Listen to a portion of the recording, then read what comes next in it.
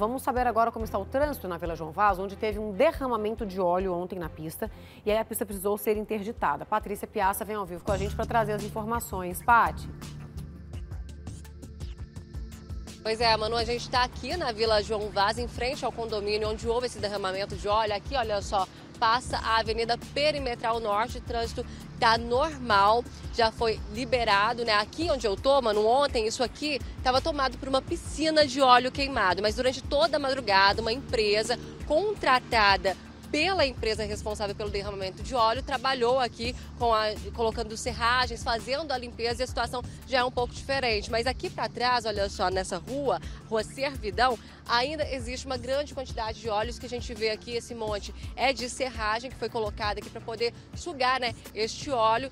Mais detalhes a gente conversa agora com o Diego Moura, que é diretor de fiscalização ambiental da AMA. É, bom dia, Diego. Conta pra gente como vai ser feito esse trabalho ainda hoje. Ainda tem muito a ser feito? Exatamente. Bom dia, bom dia a todos. Há muito o que ser feito. As equipes trabalharam aqui ao longo da madrugada, agora está havendo uma troca de turno, outras equipes estão vindo para cá novamente. A princípio foi é, feito aqui um, um, trabalho emergencial em volta das bocas de lobo, que é onde recebe esse resíduo e esse resíduo pode chegar aí a algum manancial. E aqui atrás dessa rua nós observamos aí poças de óleo aí, com, com, poças com 3 litros de óleo ainda. Então tem muita coisa que tem que ser retirada. É, a Delegacia do Meio Ambiente é, continua aí no processo de investigação.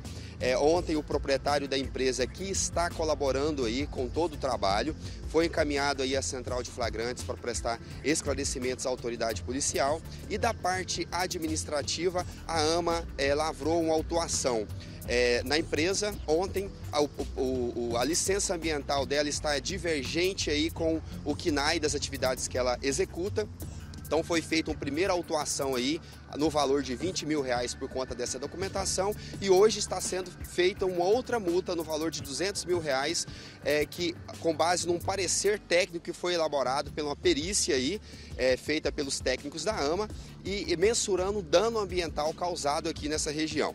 Então é, a empresa foi autuada já em 220 mil reais e esse auto ele pode crescer aí ainda mais após a conclusão dos trabalhos aqui. Para quem não acompanhou, o que aconteceu? O que provocou esse derramamento de óleo queimado? Exatamente. A empresa ela contratou um, um, um caminhão aí para fazer, para entregar um óleo queimado para que essas máquinas dessa empresa aí pudessem funcionar. Acontece que é, esse, essa entrega desse óleo ele foi feita de maneira muito amadora, né? inclusive contrariando aí uma porção de legislação. legislação.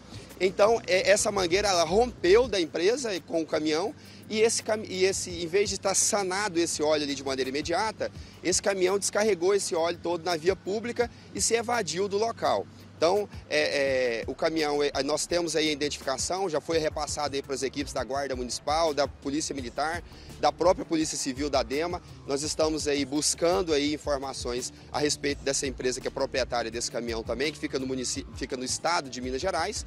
E, e porém a empresa aqui ela é responsável, né? E aí nós estamos aqui é, com as equipes trabalhando de maneira é, é, de força-tarefa para que o nosso meio ambiente seja é, é, preservado, né, o máximo possível, aí, o dano seja minorado e que os responsáveis sejam punidos à altura aí do, da infração ambiental.